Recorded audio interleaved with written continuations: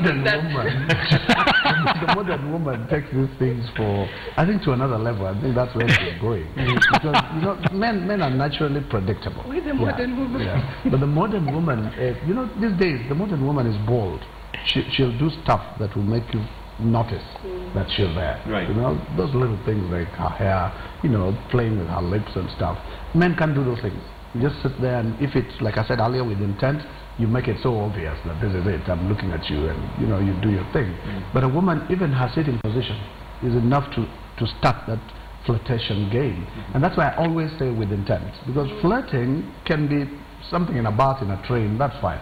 You mm. drop off, everybody goes their way, you don't care. You don't even they're change Yeah, context but or if, if you do it with is intent, then that's a different story because you're sitting there with your partner, with your spouse, and this other person is looking at you and sending signals, which you receive, of course, and you reciprocate. Yeah, so later on when you meet, believe you me, you'll strike a conversation. so that's flirting with intent. You're already doing it knowing there's, there's hope.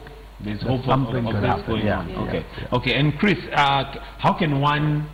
I'm sure there's flirting, like you said, there's the subconscious. Then there's the intent or the conscious one, where now it's going on to another level. How does one differentiate between the two when it's you being flattered to, if there's such a term?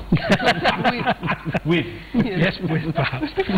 You've been I think provoked. When you're here, when you're the recipient Yeah. of the flirt.